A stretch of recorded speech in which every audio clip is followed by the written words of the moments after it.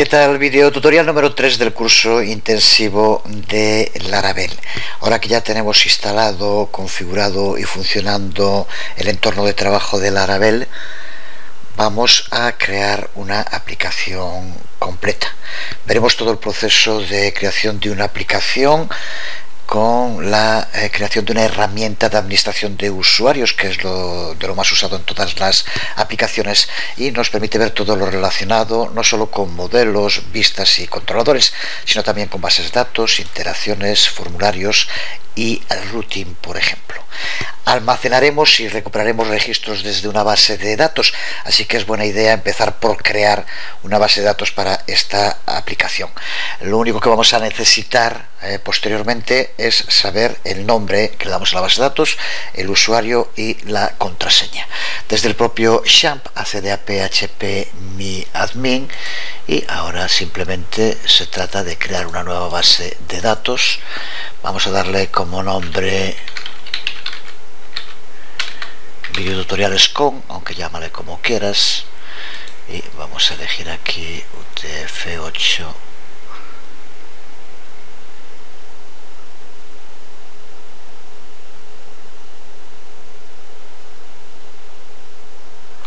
Spanish 2 por ejemplo. Y ya con esto simplemente pulsamos sobre crear. Y tenemos creada la base de datos. Si te fijabas antes en home aquí aparece debajo un mensaje eh, porque mm, indica que tenemos los valores de usuario y contraseña por defecto, que es root sin contraseña. Esto desde luego es una vulnerabilidad, vulnerabilidad enorme, pero para trabajar en un entorno como el que estamos ahora vale, con la comodidad de que no tenemos que poner eh, contraseña. Simplemente ahora tendremos que utilizar el nombre de la base de datos que acabamos de crear, videotutoriales con root como usuario y sin contraseña y ya está. Veamos ahora cómo configurar la base de datos en nuestro proyecto. Vamos dentro del proyecto, que ya sabemos que tenemos como videotutoriales con, y mm, en las carpetas tenemos la carpeta Application, y dentro de la carpeta Application config, y aquí Database PHP. Es el archivo que debemos abrir. Ábrelo con cualquier editor, aquí tenemos el archivo perfectamente comentado y aquí tenemos la configuración para las distintas bases de datos que soporta Laravel. Aquí en concreto tenemos la información para mi SQL observa que lo único que vamos a tener que cambiar aquí es el nombre de la base de datos que llamamos videotutoriales con ya que como dijimos el username es root y sin contraseña. Simplemente con esto guardamos y ya tenemos configurado para que nuestra aplicación utilice la base de datos videotutoriales com. Y con esto ya estamos preparados para empezar a crear las tablas de nuestra base de datos. El modo común de crear tablas de usuarios es usando la herramienta con la que hemos creado la base de datos, por ejemplo, como PHP Admin. Pero Laravel nos provee con un sistema realmente original que denomina migraciones, migrations, y que tenemos que usar porque tanto mejora el flujo de trabajo como también reduce muchísimo el despliegue de bugs. Es muy común cuando se trabaja con frameworks que haya problemas justo por el nombre que se le da a tablas en la base de datos y el nombre que tiene en la aplicación. Recuerda de nuevo lo de la rigidez en cuanto a las convenciones en el trabajo con frameworks MVC. Así que para eso, para que eso no ocurra, trabajando con migraciones ya estamos seguros que va a tener el nombre correcto. Si estamos hablando de proyectos que ya no lleva a cabo una única persona, sino que trabajan en ella equipos, cuando se utilizan sistemas de control de versiones, las migraciones son tremendamente útiles para evitar todo ese tipo de bugs que se producen porque hay un cambio en el nombre de una tabla, solo una letra, por ejemplo, puede eh, provocar auténticos quebraderos de cabeza. Para proyectos pequeños o gente que lleve ya tiempo trabajando con el sistema tradicional, puede que en un principio el uso de las migraciones le parezca innecesario. Una vez que se usa y se habitúa, uno encuentra rápidamente sus ventajas. Para crear nuestra plantilla de migración tenemos que hacerlo con la herramienta de línea de comandos que incluye el Laravel y que se llama Artisan. El nombre, perdón, el eslogan de Laravel justo dice que es para artesanos, un framework para artesanos de la web. Hace referencia a Artisan, que es esta herramienta de línea de comandos. Para poder usar Artisan tenemos que añadir el directorio que contiene el binario PHP dentro de nuestro pub de variables de entorno, lo que nos permite poder ejecutar ese binario PHP desde cualquier sitio, ya que el sistema sabrá dónde encontrarlo. Así que vamos a abrir una terminal para trabajar desde ella. Aquí tenemos la terminal, en este caso es la que estoy usando por defecto con Visual Studio en el curso de C pero es lo de menos, justo aquí si tenemos bien configurado el pad a PHP, podemos escribir aquí PHP V y nos tiene que devolver un mensaje como aquí, aquí vemos indicándonos la versión de PHP que estamos utilizando. Esto indica que desde cualquier ruta desde la cual eh, estemos trabajando con PHP eh, va a ser capaz de localizarlo y trabajar porque está bien configurado en el pad. Si te ha salido esta respuesta, pues muy bien, ya tienes todo configurado. Si no es así, tranquilo. De nuevo es algo que eh, suele provocar bastantes quebraderos de cabeza en un principio, porque varía demasiado según el sistema operativo. Entonces no se puede explicar en un video tutorial ni en ningún sitio pues cómo hacerlo con 16 eh, posibles sistemas operativos entre versiones y demás. Es imposible. Y eh, a veces hay personas que en cuanto se encuentran con la más mínima dificultad ya se desesperan, lo cual desde luego para este mundo es eh, un limitante enorme. Hay que ser capaces de enfrentarse a los problemas y buscar soluciones. Si vas hasta, uno se encuentra siempre, eh, yo cuando preparo cualquier cosa me encuentro con un montón de cosas que no me funcionan. Si cada vez que no me funciona algo digo, oh, ya lo dejo, hay que no agobiarse y buscar la solución, que a veces cuesta, pero incluso es lo más gratificante en estas historias. Por eso eh, yo creo que es hasta un poco triste ver esa gente que se desespera con nada. Si esto no te funciona, pues oye, busca una solución que es muy sencilla. Veamos cómo hacerlo en Windows 8. En Windows 7 eh, otros anteriores es muy similar también. Vas a el icono de equipo y pulsas sobre propiedades. Y ahora aquí en propiedades, configuración avanzada del sistema, variables de entorno. Y en variables de entorno busca eh, path y ahora edita. Eh, tienes que comprobar, en este caso no está, ahora ya está, me, eh, me refiero, antes no lo tenía, lo puse, después del último pones un punto y coma, y aquí como ves tengo que escribir la ruta a PHP, C champ PHP, simplemente esto. De este modo ya tiene configurado el entorno. Pulsamos en aceptar y con esto ya tiene que funcionar. Si no funcionara aunque no es necesario hacerlo pero si eh, vieras eh, que así todo no va. Para empezar reinicia el servidor el champ. Y si así todo no fuera y está bien escrito entonces reinicia el ordenador aunque no debería ser necesario incluso ni el champ aunque con el champ reiniciaron un momento y ahora ya digo vuelves a hacer la prueba. Simplemente pones phpv y te tiene que devolver la información indicando que sí ha encontrado dónde está php una vez que ya tenemos claro que la ruta PHP eh, está bien configurada en el pad, vamos a situarnos en el directorio donde tenemos nuestro proyecto que ya sabemos que es en cd champ cd htdocs recuerda que es donde lo incluimos y cd videotutoriales y ahora tenemos que escribir php artisan migrate dos puntos install. Sin ningún espacio entre migrate dos puntos install todo junto.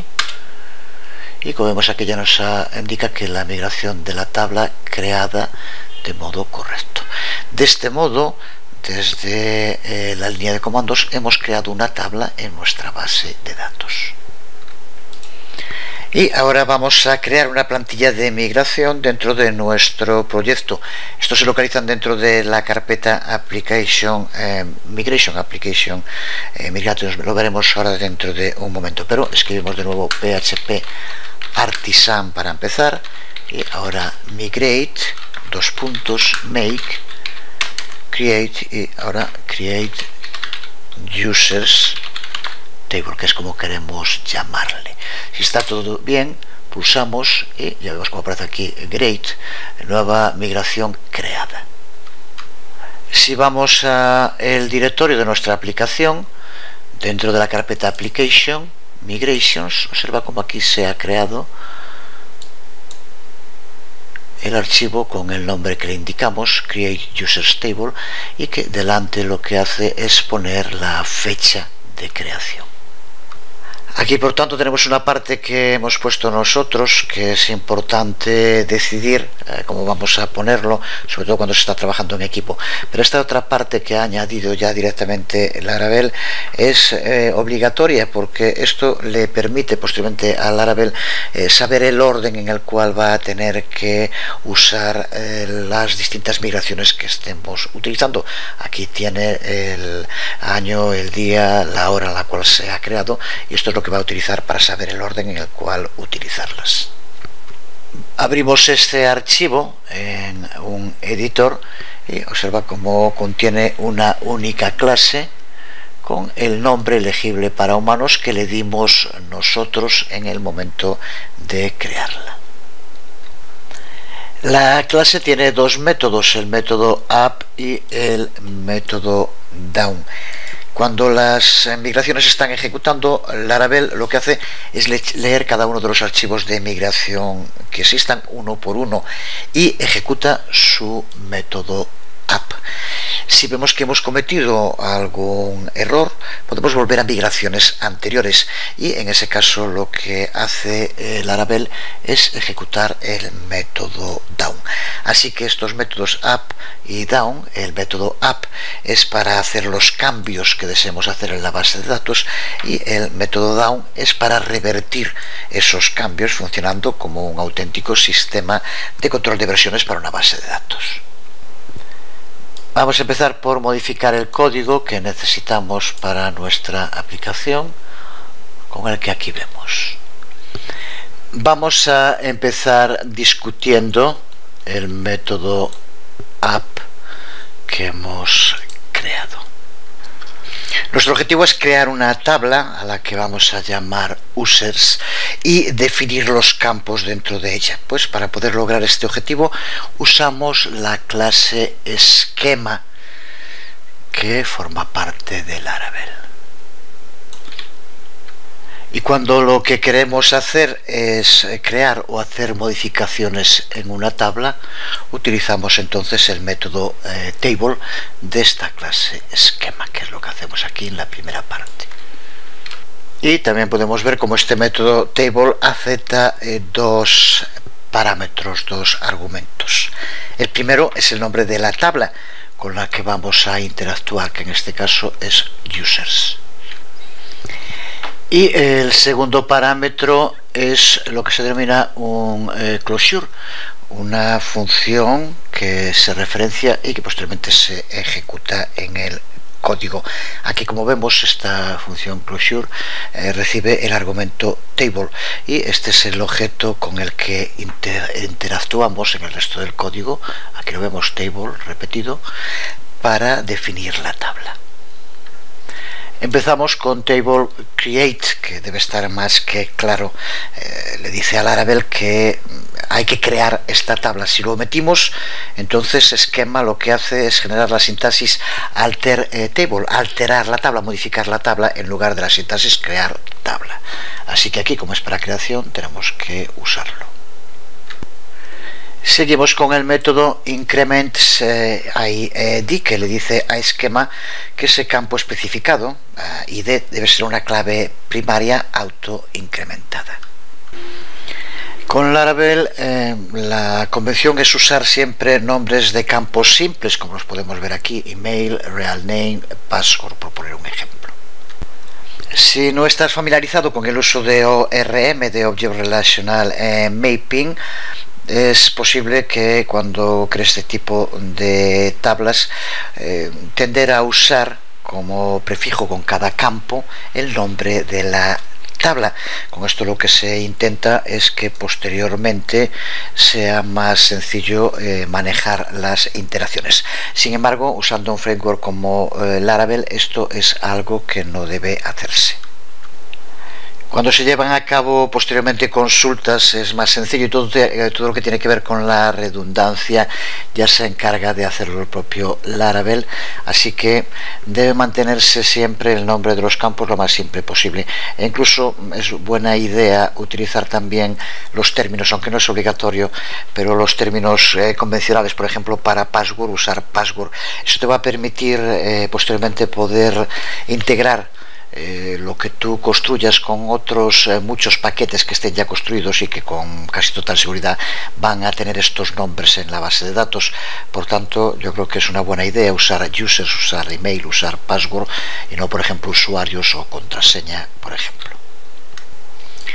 Vemos aquí de qué modo tan sencillo creamos eh, tres campos en nuestra tabla campos de tipo string y ya son creados con un varchar del tamaño por defecto de 200 podemos sobreescribir ese tamaño pasándolo aquí como segundo argumento. Por ejemplo aquí en real name podríamos poner eh, coma y ahora añadir aquí 300 por ejemplo.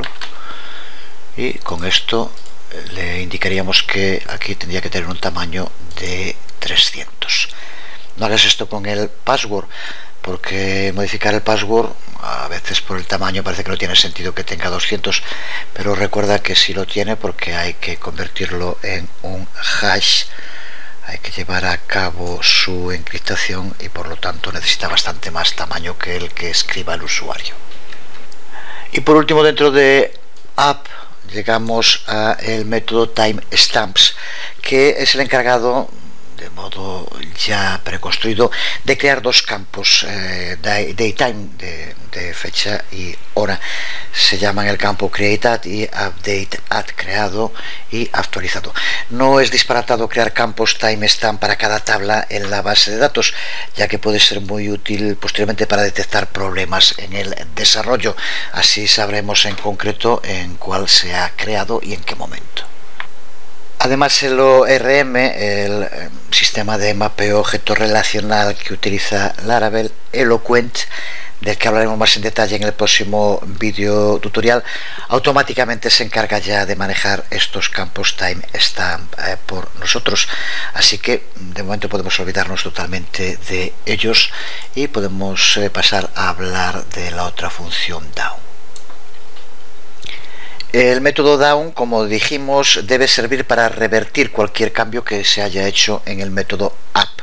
En este caso, el método up lo que ha hecho es crear una tabla llamada users, así que por tanto en el método down lo que tenemos que hacer es eliminar esa tabla. Lo hacemos con un nuevo método de la clase esquema que es el método drop que toma un único argumento, que es un valor string conteniendo el nombre de la tabla que queremos eliminar. Aquí users.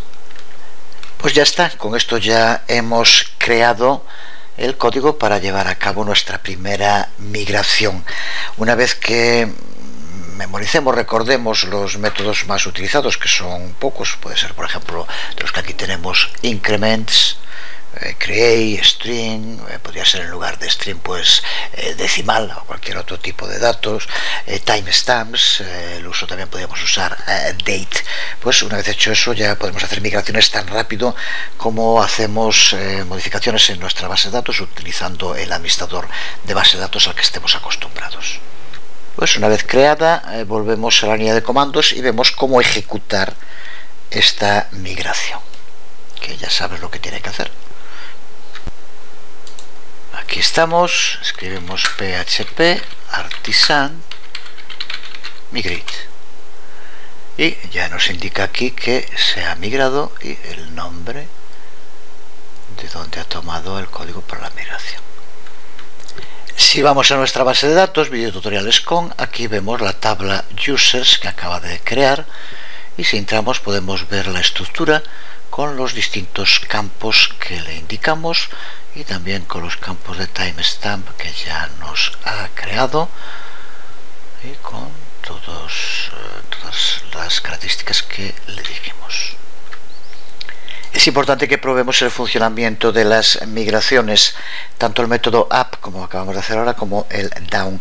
Veamos cómo hacerlo y recuerda o guarda estos códigos porque van a ser eh, constantes en su uso.